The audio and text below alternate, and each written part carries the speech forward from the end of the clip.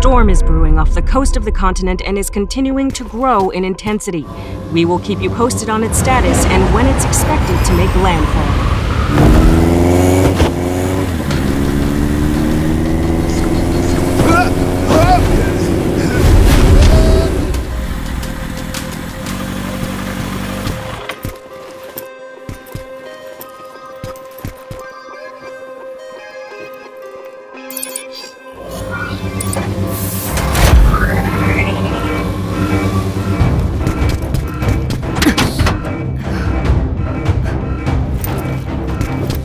He's dead.